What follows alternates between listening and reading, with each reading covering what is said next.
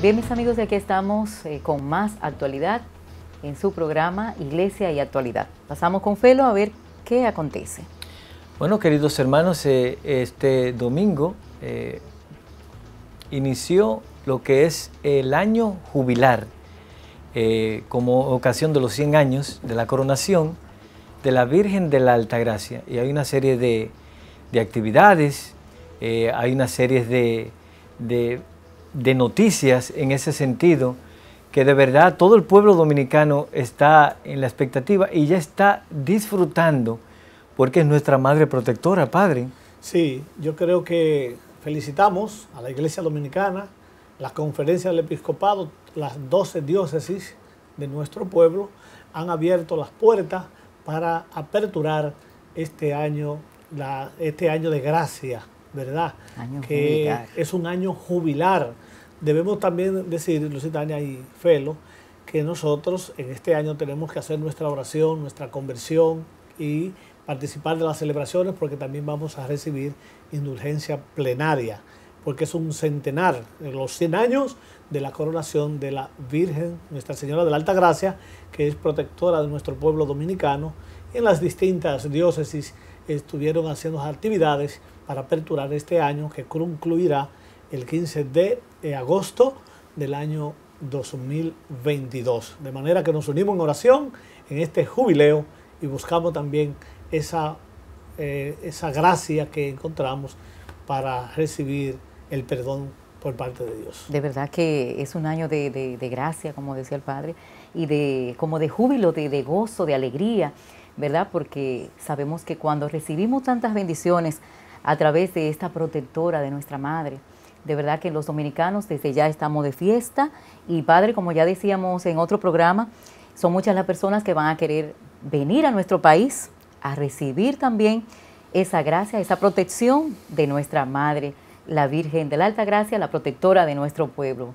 Yo creo Y- que es maravilloso ver lo que va a pasar, lo que Y- sigue pasando. Así es, y esto es una reafirmación de, de la misma palabra de Dios, que le dirán dichosa todas las generaciones. Eh, ahí se cumple esa profecía en cada Ave María, en cada rezo del rosario, en cada Eucaristía, en cada indulgencia plenaria.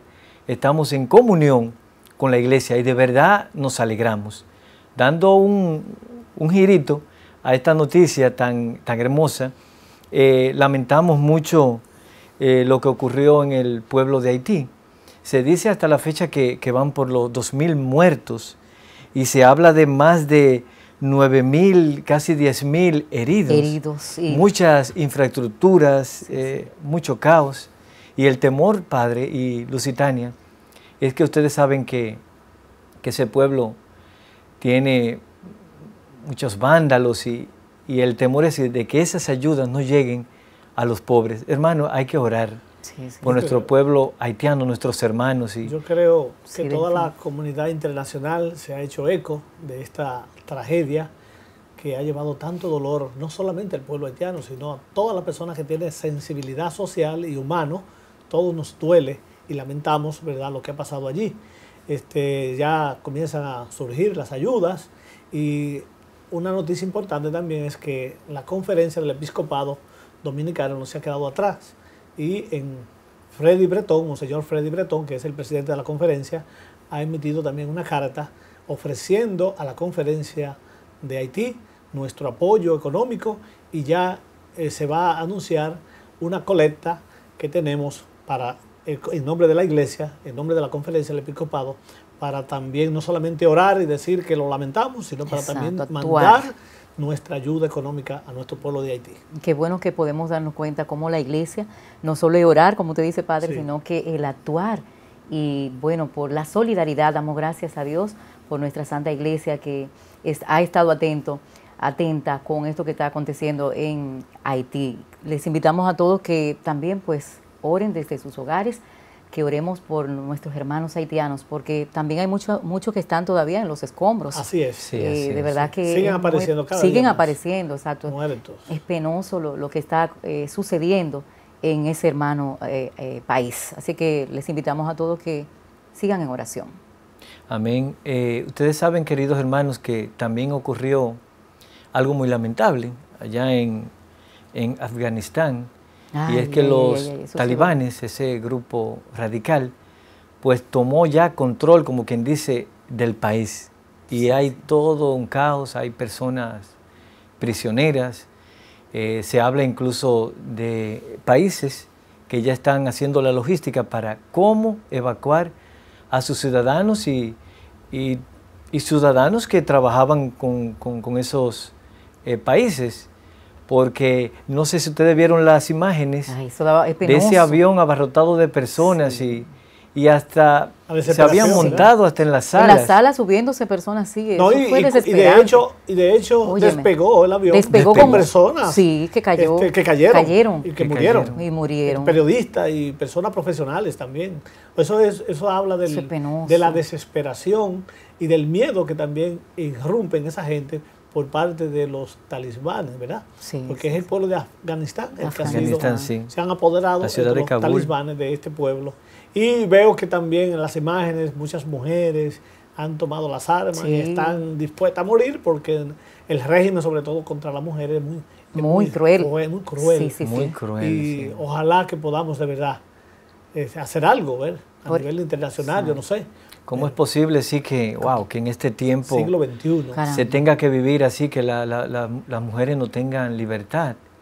wow, tenemos que orar mucho para que llegue la tolerancia a todos los pueblos y seguir orando por, por Kabul, que es la, capital, y que de verdad haya prudencia y, apertura, diálogo, como el Papa invita siempre al diálogo, invitamos nosotros a que los pueblos puedan dialogar y, buscar siempre el, camino de, de la libertad y de la concordia y los cristianos que están allá también en, Kabul. Y, sí, sí, sí, muchos cristianos también católicos. Que son atacados, y, muy que son eliminados por, ser, por profesar la fe cristiana. Exactamente. Nuestro llamado es para que sigamos en oración por estos hermanos pueblos que aunque están lejos, son seres humanos y también nos duelen y tenemos que sensibilizarnos también por ellos.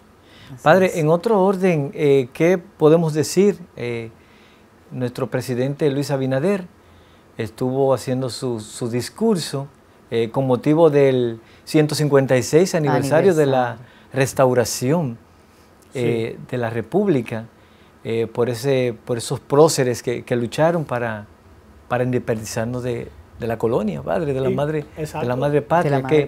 ¿Qué, ¿Qué, nos dijo el presidente en, en, estos días? Bueno, este, un aniversario más de la restauración de nuestro pueblo dominicano pero para el presidente fue precisamente la rendición de cuentas de su primer año, de gobierno, donde hemos visto positivo una, serie de, anuncios, de obras que ya están en marcha, según como él lo dice, y yo creo que, y también hace un llamado, habla también de una reforma fiscal, donde invita a todas las autoridades, este, tanto políticas como empresariales, eh, toda la gente de buena voluntad y también la oposición para que se unan para este proyecto.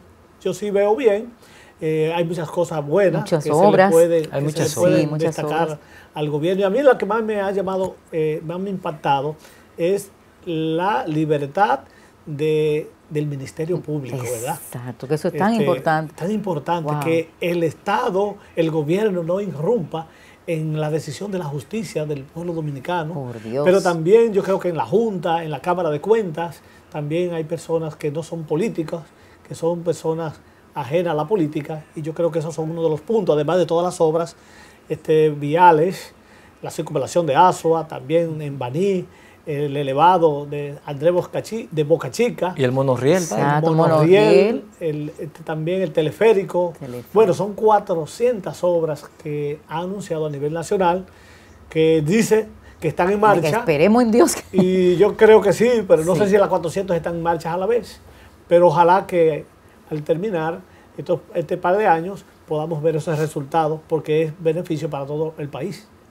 Así sí, y sobre todo nosotros estamos en, una, en una vía, digamos, del Caribe donde pasan muchas fallas y demás y esperamos que estas construcciones pues reúnan todas las, condiciones para que no estamos, eh, digamos, libres de, sufrir. Pidamos a Dios que, que no, pero son cosas de la naturaleza y estar siempre preparado. Pero estas obras nos van a ayudar mucho, nos van a dar seguridad, nos van a dar un poco más de, de confort y sobre todo eh, que la gente pueda ahorrar. Más desarrollo en nuestro país. Padre, que pueda ahorrar porque... Y, y, yo creo que esto también se puede traducir, si hay muchas obras, se puede traducir también en el aumento de empleo. Sí, aumento de empleo. que, que es una de las promesas que ha hecho el presidente de aumentar el empleo, un pueblo Sí, desde su desempleado, campaña, sí, sí. desempleado, y también hay que revisar también el, ¿cómo se llama? El salario El de mucha gente. Yo sé que ha habido aumentos, sobre todo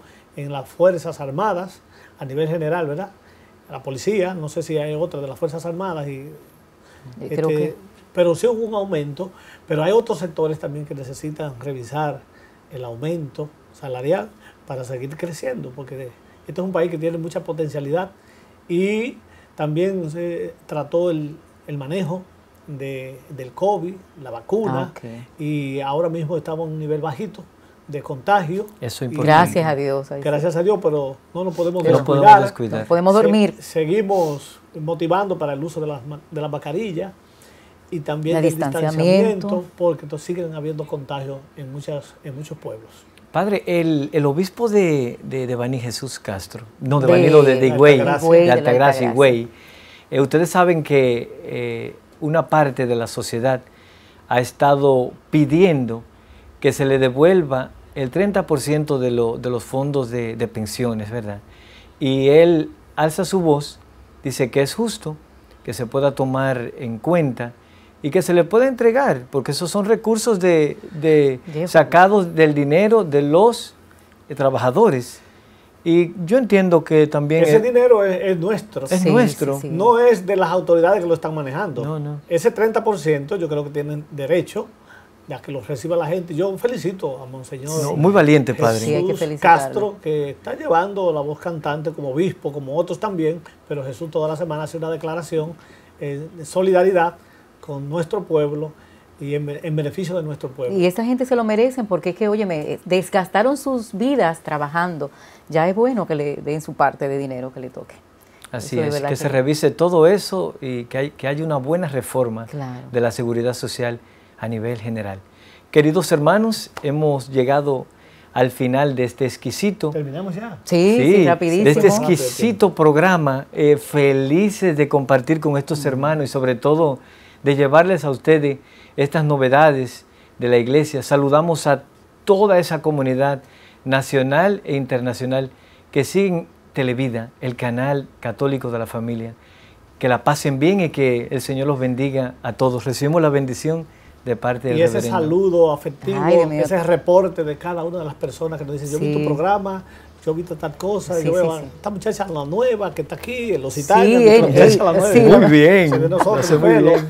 Gracias por reportarnos a ustedes por nuestro sintonía. afecto y la bendición para todos ustedes. Que el Señor Dios Todopoderoso, Padre, Hijo y Espíritu Santo desciendan sobre ustedes y permanezca para siempre. Amén. Amén. Gracias a todos por su sintonía.